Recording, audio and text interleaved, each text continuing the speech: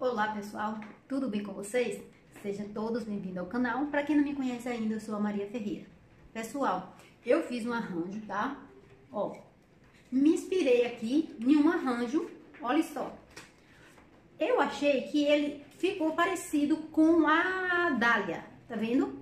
Porém, é furadinho ao meio, ó que lindo ficou, tá? Então, como eu fiz ela e eu gostei bastante, eu trouxe para vocês também, tá? Porque aí você pode se, se inspirar, vocês podem criar aí da forma que vocês acharem que fica melhor também, entendeu? E se inspirar também em alguma coisa aqui desse arranjo, né, gente? Porque não é possível não se inspirar, né? Porque eu achei que ele ficou muito lindo.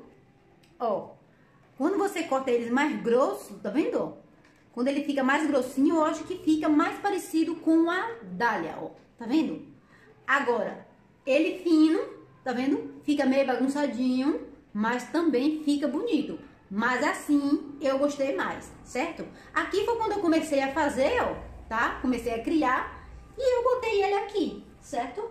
Eu achei que ficou bonitinho também. Fiz esse marronzinho também, ó, que dá pra vocês também fazer pra poder complementar outros arranjos. Agora no Natal mesmo, ó, que ele ficou parecendo a semente do pinheiro certo? Só que eu botei esses amarelinhos aqui, mas você pode botar branco ou então deixar no EVA normal. Não precisa esquentar, você vai precisar da prancha mesmo só para frisar a folha, certo? Então vou mostrar vocês aqui como eu fiz. Então se você estiver já gostando, deixa um like, compartilha, certo? E assiste o vídeo até o final.